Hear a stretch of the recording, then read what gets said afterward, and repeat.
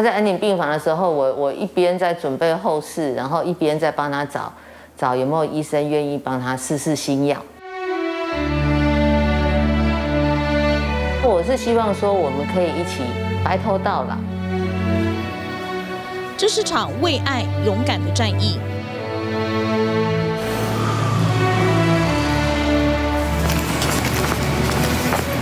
先生、夏太太每天都会出门散步，一走就是三四万步。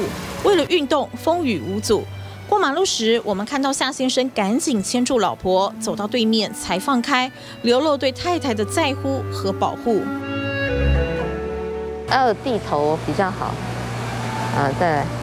仔细的挑水果，再看看蔬菜是否要补货。其实夏先生离癌前，夫妻俩在假日最喜欢开着车全台湾到处玩，探访美食。现在却回不去了。把各式蔬菜放进果汁机里，还有豆谷、坚果等等，每种营养都不少。再将食材打成泥，然后滤渣，晚餐才算完成。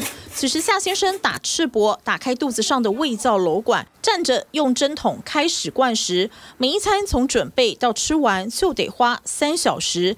太太看了很心疼，而他坚强乐观的跟我们说：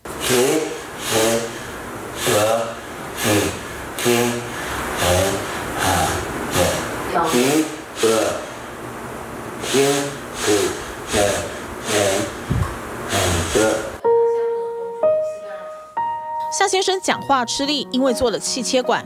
十年前四十五岁时，他罹患舌癌，没想到一年多后复发，癌细胞更凶猛，又不断在开刀化疗，而化疗副作用在夏先生身上相当强烈，让他变得很虚弱，肿瘤却是越长越大。最后又用标靶药，标靶药下去一样，就是边边用药，肿瘤边在长大。然后长到后来，就是肿瘤就包了他颈部的动脉。夏先生住进安宁病房，这时有医生建议他尝试免疫治疗，但健保规定，在肿瘤上的 PDL1 生物标记表现量要大于百分之五十才给付。可是夏先生没到门槛，重击他的求生意志。妈妈和太太劝他不要放弃，之后筹钱自费做免疫疗法。然后一直到用用到二十四期满了以后，然后我们去照正子嘛，正子摄影嘛，完身他的身体都没有肿瘤了，肿瘤消失了。三个礼拜打一次，然后一次要十一万多。为了抗癌，花光积蓄。采访夏太太时，夏先生好几次拿纸笔表达心情。他写着：“我被困了十年多，伤害已经造成。”简单几字是用血泪刻印。从复发了之后，真的我们深深体会到的，他被打入了是人间地狱。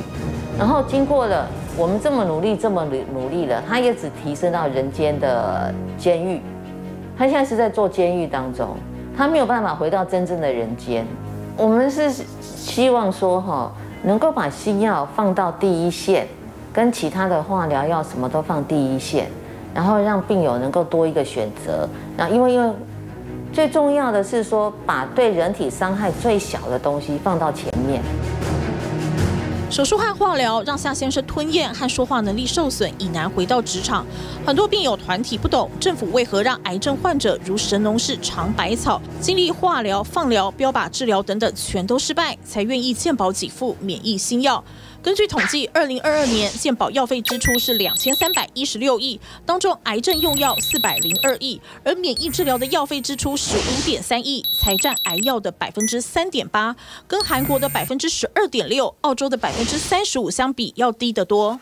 台大医院癌医中心分院院长杨志新是肺癌治疗权威，他说：“台湾真的不能再落后于国际治疗指引。呃，目前全世界的潮流都是免疫治疗。”加上化学治疗并用，我们并不是在讲说它可以延长多少时间。其实有一些病人他是五年后还没有看到复发的，也就是说，以前第四期的病人，我们认为就不可能把他救活起来。但是十 percent 算也也是蛮高的吧？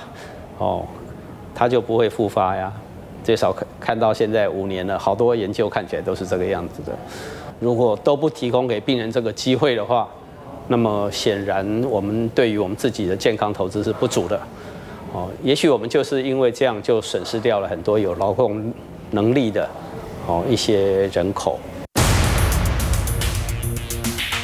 台湾真的等不起。以肺癌来说，多年来是十大癌症死亡率第一名，而肺鳞癌是肺癌之王，药物很少，多数晚期患者存活期不到一年。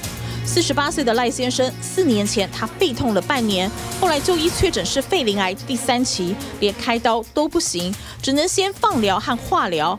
但因为化疗让白血球数量掉太多，医生考量他有商业保险，建议做免疫治疗。就是免疫打了多久以后，后来就是到了可以开刀的半年的半年，大概就十到十二次，打了十几次，抽血报告可能医生觉得，哎可以。